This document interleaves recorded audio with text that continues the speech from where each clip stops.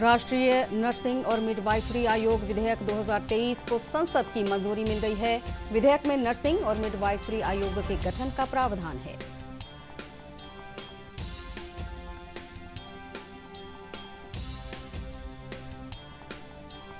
निर्वाचन आयोग ने झारखंड, त्रिपुरा, केरल, पश्चिम बंगाल, उत्तर प्रदेश और उत्तराखंड में सात विधानसभा सीटों पर 5 सितंबर को उपचुनाव कराने की घोषणा की है।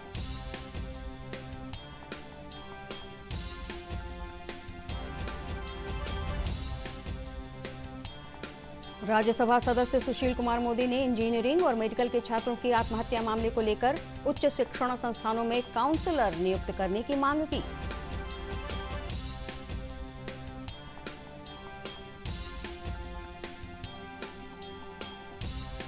प्रदेश के सभी विश्वविद्यालयों के साथ शिक्षा विभाग आज से विशेष बैठक आयोजित करेगा। बैठक में विभाग की ओर से अपर मुख्य सचिव के के पाठक मौजूद रहेंगे।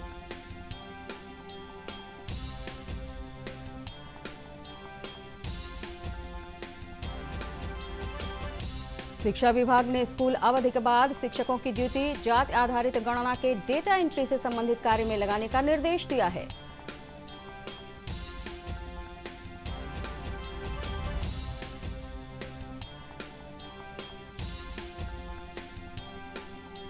राज्य के तकरीबन चार लाख नियोजित शिक्षकों को राज्यकर्मी का दर्जा पाने के लिए विभागीय परीक्षा पास करनी होगी।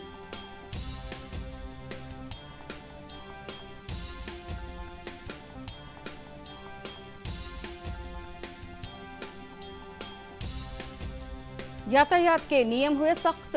अब वाहन चलाते समय फ़ोन पर बात करते हुए पकड़े गए तो पाँच हज़ार रुपए का ई चालान कटेगा।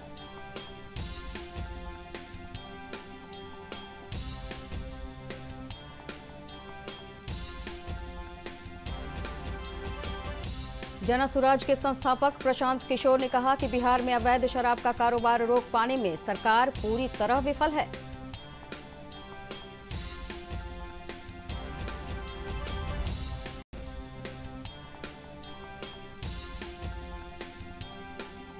पीएमसीएच में कांग्रेस विधायक प्रतिमा कुमारी के साथ दुर्व्यवहार का मामला सामने आया है। विधायक ने उप मुख्यमंत्री तेजस्वी यादव से शिकायत की।